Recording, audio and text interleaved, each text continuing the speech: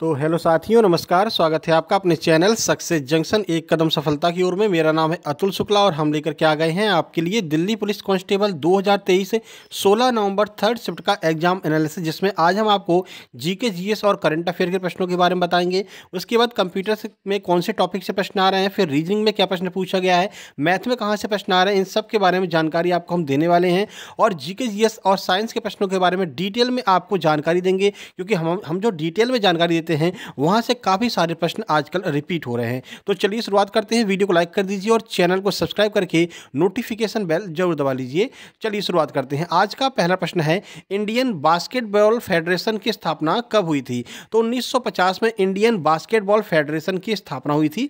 देखिए basketball federation of India जिसे हम बी कहते हैं, भारत में बास्केटबॉल का शासी निकाय है। इसकी स्थापना 1950 में हुई थी और यह एफ़ एशिया और भारतीय ओलंपिक संघ से संबद्ध है यानी कि एफआईबीए और एशिया से संबंधित है। इसका जो है एक संघ में, यह भी रहता है इनके संघ में, ठीक है? तो भारतीय ओलंपिक में ये ऐड है, ठीक है? आगे बढ़ते हैं, अगला प्रश्न देखते हैं। यामिनी कृष्णमूर्ति को किन दो नृत्यों में पद्म विभूषण मिल चुका है? तो भरतनाट्यम और कुचिपुड़ी, इन दो नृत्यों में यामिनी कृष्णमूर्ति को पद्म विभूषण मिल चुका है। हमने आपको पहले भी कहा था कि यामिनी कृष्णमूर्ति से लगातार प्रश्न पूछे जा रहे हैं। कल भी एक प्रश्न पूछा गया था, ठीक है?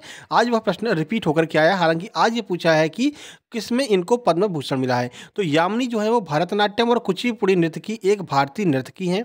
यामिनी कृष्णमूर्ति को सन 2001 में भारत सरकार ने कला क्षेत्र में पद्म पद्म भूषण से सम्मानित किया था और ये दिल्ली की रहने वाली हैं, ठीक है?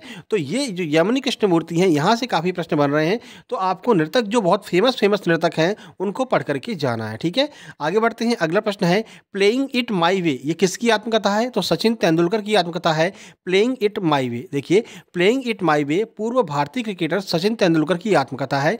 यह सचिन के साथ एक भारतीय खेल पत्रकार बोरिया मजूमदार द्वारा सह लिखित है। आत्मकथा पाँच नवंबर 2014 को इसको प्रकाशित किया गया था। तो अब इसके बाद में आपको बीबीएस लक्ष्मण की जो आत्मकथा है 281 इसके बाद में सौरभ गांगुली की जो आत्मकथा है, सुरेश रैना की जो आत्मकथा है, इन आत्मकथाओं को पढ़ करके जाना मतलब पूरा नहीं पढ़ कर जाना है, बस इतना पढ़ के जाना है, इन लोगों ने कौन कौन सी आत्मकथा लिखी है, क्योंकि यहाँ से लगातार प्रश्न बन रहे हैं। आगे बढ़ते हैं, अगला प्रश्न देखिए स्थायी व्यवस्था का जनक किसे कहा जाता है? तो लॉर्ड कार्नवालिस को स्थायी व्यवस्था का जनक कहा जाता है। देखिए, स्थायी बंदोबस्त इसी को हम स्तंभ रारी बंदोबस्त कहते हैं। ईस्ट इंडिया कंपनी और बंगाल के जमींदारों के बीच कर वसूलने से संबंधित एक स्थायी व्यवस्था है, ठीक है? जिसे बंगाल में लॉर्ड कार्नवालिस के द्वारा 22 मार्च उन्नीस को लागू किया गया। ये डेट भी कभी कभी पूछ ली जाती है कि स्थायी बंदोबस्त व्यवस्था कब लागू की गई थी। तो बाईस मार्च सत्रह सौ तिरानवे को भारत में लॉर्ड कार्नवालिस के द्वारा यह व्यवस्था व्यवस्था लागू की गई थी। सारे के सारे प्रश्न रियल और ऑथेंटिक प्रश्न हैं, इसलिए वीडियो को लाइक ज़रूर कर देना। पहली हरित क्रांति कब आई थी? तो उन्नीस में पहली हरित क्रांति आई थी। देखिए, हरित क्रांति उन्नीस में शुरू हुई। पहले साल में तेरह करोड़ हेक्टेयर ज़मीन में से चौबीस लाख हेक्टेयर ज़मीन में ज़्यादा उपज देने वाले बीजों का इस्तेमाल किया गया था, ठीक है? इस प्रयोग के सफल नतीजों को देखते हुए 1970-71 तक डेढ़ करोड़ हेक्टेयर में ऐसी खेती की गई थी, ठीक है? तो पहली जो है हरित क्रांति कब आई थी? उन्नीस सौ अड़सठ में आई थी। देखिए, अगर आप लोग एग्ज़ाम एनालिसिस देखना चाहते हैं तो कम समय वाला ही एग्ज़ाम एनालिसिस देखिए, क्योंकि अभी यहाँ पर पैटर्न में बिल्कुल भी चेंज देखने को नहीं मिला है दिल्ली पुलिस के। तो आपको एक आइडिया लगता रहेगा और आपका समय भी बचता रहेगा, ठीक है? तो दस से बारह मिनट के अंदर हम आपको सारा एग्ज़ाम एनालिसिस करा देंगे। सब आपको समझ में आ जाएगा कहाँ कहाँ से कितने कितने प्रश्न आ रहे हैं। तो बस इसी की तैयारी तैयारी कीजिए, फालतू में एक डेढ़ घंटा अपना बर्बाद मत कीजिए, कहीं भी लंबा लंबा एग्ज़ाम एनालिसिस आपको नहीं देखना है। एल की स्थापना कब हुई थी? तो 2013 में इंडियन सुपर लीग एल की स्थापना हुई थी। चलिए देख लेते हैं। कौन कौन इसमें खेलता है, कितनी टीमें खेलती हैं, आगे प्रश्न पूछा जा सकता है। तो लीग में पूरे भारत से 11 टीमें खेलती हैं, ठीक है? तो 11 टीमें इस लीग में हिस्सा लेती हैं। या अगस्त से मई के बीच में खेली जाती है और फाइनल्स में श्रृंखला का विजेता घोषित किया जाता है। इसका गठन 2013 में भारत में फुटबॉल को प्रोत्साहित करने व भारतीय फुटबॉल को अंतर्राष्ट्रीय स्तर पर लाने के लिए किया गया था, ठीक है? तो आपको याद रखना है आईएसएल जो है, वो आईएसएल जो है, वो फुटबॉल से संबंधित है, इंडियन सुपर लीग जो है, फुटबॉल से संबंधित है, ठीक है? इसका गठन 2013 में किया गया था। आगे बढ़ते हैं, अगला प्रश्न है W P L women premier league जैसा आपका आईपीएल होता है, वैसे ही वुमेन प्रीमियर लीग की सबसे महँगी खिलाड़ी कौन रही हैं? तो स्मृति मंधाना जो है, वो वुमेन प्रीमियर लीग की सबसे महँगी खिलाड़ी रही हैं। देखिए तो स्मृति मंधाना सबसे महँगी खिलाड़ी जो है बिकी हैं डब्ल्यू पी एल में खर्च हुए उनसठ दशमलव पाँच करोड़ रुपए में सतासी प्लेयर बिके हैं, ठीक है? बाकी ये पूरी जानकारी यहाँ पर दी गई है, जो कि आपको पढ़ करके देख लेना है। तीस विदेशी खिलाड़ी इसमें शामिल हुए थे, ये ज़रूर ध्यान रखना। तीस विदेशी खिलाड़ी और सतासी खिलाड़ियों को फ्रेंचाइजी फ्रेंचाइजी टीमों ने खरीदा था, ठीक है? और इसमें तीस विदेशी खिलाड़ी थे, सबसे महँगी खिलाड़ी स्मृति मंथाना रही हैं। चलिए, आगे बढ़ते हैं। अनुच्छेद तैतालीस बी का संबंध किससे है? तो सहकारी समितियों से संबंधित है अनुच्छेद तैतालीस बी। अनुच्छेद तैतालीस बी की बात करते हैं तो सहकारी समितियों के स्वैच्छिक गठन, स्वायत्त कामकाज, लोकतांत्रिक नियंत्रण और पेशेवर प्रबंधन को बढ़ावा देने के लिए जो बात कही गई है वो अनुच्छेद फोर्टी बी में कही गई है, ठीक है? आगे बढ़ते हैं, अगला प्रश्न है, यमुना नदी का उद्गम कहाँ से होता है? डायरेक्ट स्टेट पूछ लिया था कि यमुना का उद्गम यमुनोत्री से होता है, वो यमुनोत्री कहाँ पर है?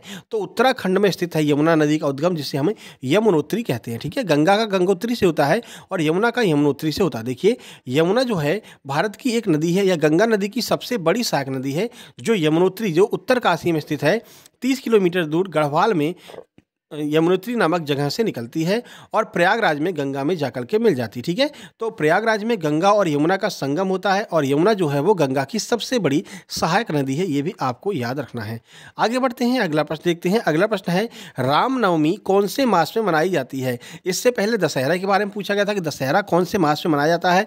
अब रामनवमी के बारे में पूछा गया तो चैत्र मास में रामनवमी को मनाया जाता है। देखिए, रामनवमी का त्यौहार चैत्र मास के शुक्ल पक्ष की नवमी को मनाया जाता है। जो अप्रैल मई में आता है। हिंदू धर्म शास्त्रों के अनुसार इस दिन मर्यादा पुरुषोत्तम भगवान श्री राम जी का जन्म हुआ था, ठीक है? तो ये रामनवमी यहाँ पर आपसे ना केवल अब पहले ये पूछते थे कि कौन सा त्यौहार कहाँ पर मनाया जाता है, अब उसकी डेट पूछ लेते हैं कि कौन सा त्यौहार किस माह में मनाया जाता है तो थोड़ा सा आपको डिटेल में पढ़ करके जाना है, ठीक है?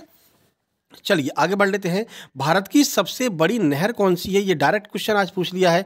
तो सबसे बड़ी नहर भारत की कौन सी है? इंदिरा गांधी नहर जो है, वो भारत की सबसे बड़ी नहर है। देखिए, इंदिरा गांधी नहर की बात करते हैं तो यह नहर भारत की सबसे लंबी नहर और विश्व की सबसे बड़ी सिंचाई परियोजना वाली, विश्व की सबसे बड़ी सिंचाई परियोजना वाली नहर कौन सी है? तो वो भी आपकी इंदिरा गांधी नहर है, ठीक है? ज़्यादातर जो इसका भाग है, वो राजस्थान से होकर के गुजरता है। चलिए, अब सीधे चलते हैं आपका जी के जी एस के बारे में हमने आपको बता दिया। अब कंप्यूटर की ओर चलते हैं। कंप्यूटर में आपका M S Excel, three sixty five से पाँच से छः प्रश्न लगातार पूछे जा रहे हैं तो इसको अच्छे से पढ़कर जाइए। एम एस एक्सल और अगर आपने एम एस वर्ड पढ़ लिया तो छः से सात प्रश्न आपको यहीं से मिल जाएँगे। दस में से छः सात प्रश्न आपको इन दो टॉपिक से ही मिल जाएँगे। उसके बाद में शॉर्टकट की से एक दो प्रश्न आ रहे हैं और एक दो प्रश्न ई से आ रहे हैं।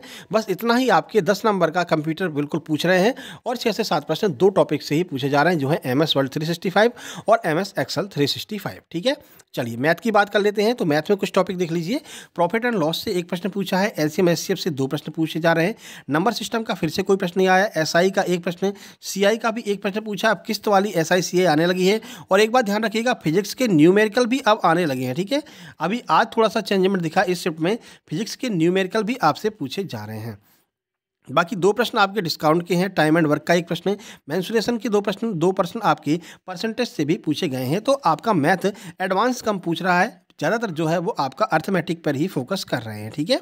चलिए, रीजनिंग की बात करें तो तीन से चार प्रश्न आपके डाइस के पूछे जा रहे हैं, जिसमें ओपन डाइस वाला जो होता है, वो भी पूछा जा रहा है और जो बिल्कुल नॉर्मल डाइस होता है, वो भी आपका पूछा जा रहा है। तो लगभग चार प्रश्न आपके डाइस यानी कि पासा से पूछे जा रहे हैं। दो प्रश्न आपके सीरीज़ से पूछे जा रहे हैं सिटिंग अरेंजमेंट से एक प्रश्न पूछा जा रहा है, चार प्रश्न मिरर इमेज से फिगर काउंटिंग से एक से दो प्रश्न दो प्रश्न छिपी आकृति से मैथमेटिकल ऑपरेशन से दो प्रश्न नेक्स्ट इमेज क्या होगी, तीन प्रश्न कोडिंग रिकॉर्डिंग से दो प्रश्न तो कुछ ज़्यादा परिवर्तन यहाँ पर देखने को नहीं मिला है। अगर कोई जरा सा भी पढ़ कर गया है तो 25 में से 25 नंबर की आप रीजनिंग कर सकते हैं। अगर आपने नॉन वर्बल अच्छे से तैयारी कर ली है तो बिल्कुल आप 25 में से 25 अच्छे से तैयारी कर सकते हैं आकृतियों वाले प्रश्नों को अच्छे से पढ़ करके जाना। ठीक है? तो ये कम समय में हमने आपका पूरा एग्ज़ाम एनालिसिस करा दिया है।